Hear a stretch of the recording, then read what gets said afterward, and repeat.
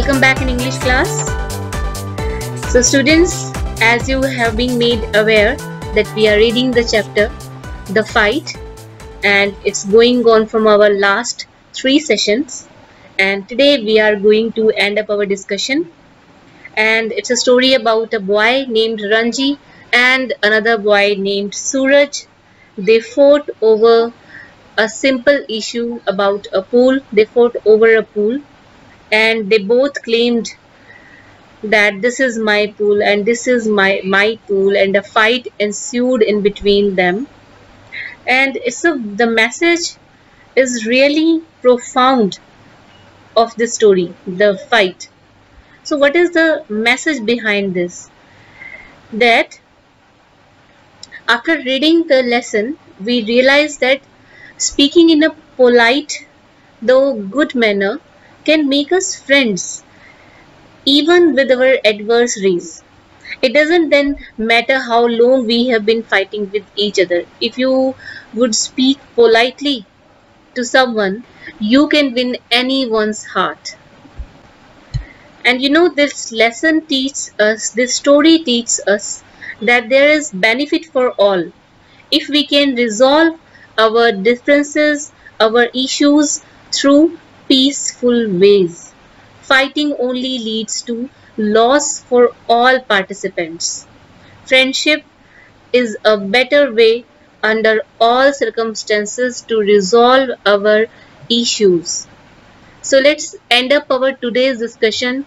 Let's finish our chapter then we will discuss further our question answers main question answers related to this chapter. Let's start our last ex extract from the story. Are you trying to empty the pool? He asked as the warrior came to the surface spouting water like a small whale. Wasn't it good? Wasn't it good? asked the boy evidently proud of his feat not very good, said Ranji. You should have more practice. See, I will do it again. And pulling himself up on a rock, he executed another perfect dive. The other boy waited for him to come up, but swimming underwater, Ranji circled him and came upon him from behind. How did you do that? asked the astonished youth. Can't you swim underwater? asked Ranji. No, but I will try it. The warrior made a tremendous effort to plunge into the bottom of the pool and indeed he thought he had gone right down, though his bottom like a duck's remained above surface. Ranji, however, did not discourage him. It was not bad, he said, but you need a lot of practice. Will you teach me? asked his enemy. If you like, I will teach you. You must teach me. If you do not teach me, I will beat you. Will you come here every day and teach me? Okay, if you like, said Ranji. They had pulled themselves out of the water and were sitting side by side on a smooth grey rock. My name is Suraj, said the warrior. What is yours? It is Ranji. I am strong, am I not? asked Suraj bending his, bending his arm so that a ball of muscle stood up, stretching the white of his flesh. You are strong, said Ranji. You are a real Pahalwan. One day I'll be world's champion wrestler, said Suraj, slapping his thighs, which shook with the impact of his hand. He looked critically at Ranji's hard, thin body. You are quite strong yourself, he conceded. But you are too bony. I know you people do not eat enough. You must come and have your food with me. I drink one seer of milk every day. We have got our own cow. Be my friend and I'll make you a pahalwan like me. So when the big boy, the warrior boy, he saw Ranji's diving and his swimming, his skill, he was astonished, he was startled, he was shocked and he asked him, he requested him to teach him how to dive. Ranji told him the exact way how to do the dive into the pool but the big boy he was not able to do so and Ranji laughed a lot. Ranji uh, asked him Are you trying to empty the pool? he asked as the warrior came to the surface, spouting water like a small whale. Like a kid, he was trying to do the swimming into the water. So Ranji asked him, "Are you uh, are you exactly trying to empty the pool?" Wasn't it good? asked the boy, evidently proud of his feat. Where uh, Ranji was laughing a lot on the diving pattern when he saw the diving pattern of the big boy whereas the big boy the warrior boy he was he was happy he was pleased by his effort and he asked wasn't it good asked the boy evidently proud of his feat ranji replied it was not very good. You should have more practice. See i'll do it again for you. And pulling himself up on a rock he executed another perfect dive. Suranji he dived again to teach the big boy. The other boy waited for him to come up. The other boy, the warrior boy, was already there in the pool, and when Ranji dived into the pool, he waited for the Ranji to come, and he was there in the water. But swimming under water, Ranji circled him and came upon from him, came upon him from behind, and surprised him. Uh, the big boy, warrior boy, he asked, How did you do that? From where you have come? I was waiting for you. And he was totally astonished. He was surprised at that. So he, Ranji asked, Can't you swim underwater? Asked Ranji, No, but I'll try it.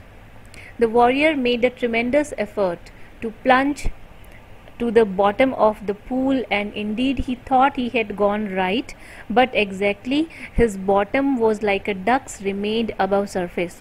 So when he saw ranji ranji was swimming underwater.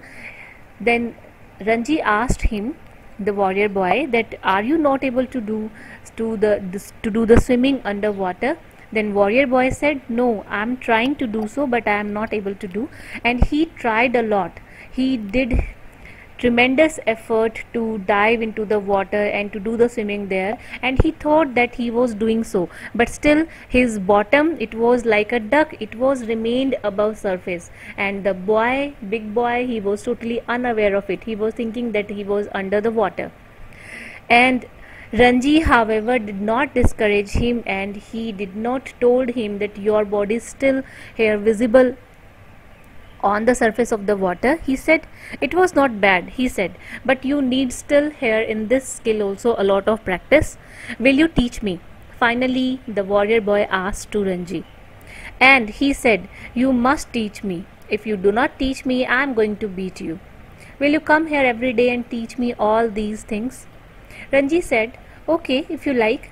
They had pulled themselves out of the water. They came out of the water and they sat for a few time on the smooth grey rock. Now the warrior boy said that my name is Suraj. And he asked what is yours? Then Ranji said I am Ranji. I am strong. Am I not? The Suraj uh, warrior boy Suraj he said. And he bending his arm so that a ball of muscle stood up stretching of white his flesh.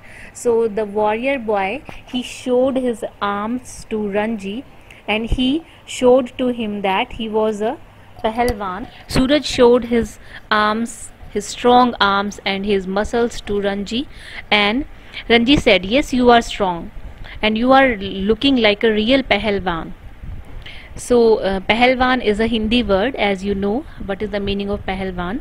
So one day I will be world's champion wrestler. Suraj told him that it's his dream that he wanted to be a world champion wrestler and he said he's uh, while exclaiming all these things he slapped his thighs tightly and which shook with the impact of his hand. His thighs shook when he slapped his thighs tightly, and he looked critically at Ranji's hard, thin body, and he said, You are quite strong yourself, he conceded, but you are too bony. So conceded mean admit or agree. So he conceded, he admit that you are strong, but he, uh, he critically commented that you are too bony means you are too weak. Your body is so skinny you are so lean and thin. I know you people do not eat enough. You must come with me and have your food with me. I drink one seer of milk. One seer of milk means one seer So a seer means same as seer. It's a Hindi word seer, a unit of weight used uh, previously in India. One seer, two seer. A seer is little less than a liter. As usually we are measuring liquids into the liter, and it. But seer is little bit less than a liter. So he said we are drinking one seer of milk every day and we have got our own cow we have our own cow be my friend and i will make you pahalwan like me I know. If you teach me to dive and swim underwater, I will make you a pahalwan. That is fair, isn't it? That is fair, said Ranji, though he doubted if he was getting the better of exchange. Suraj put him put his arm around the younger boy and said, We are friends now, yes? They looked at each other with honest, unflinching eyes, and in that moment, love and understanding were born. We are friends, said Ranji. The birds had settled again in their branches, and the pool was quiet and limpid in the shade of the sal trees. It is our pool, said Suraj.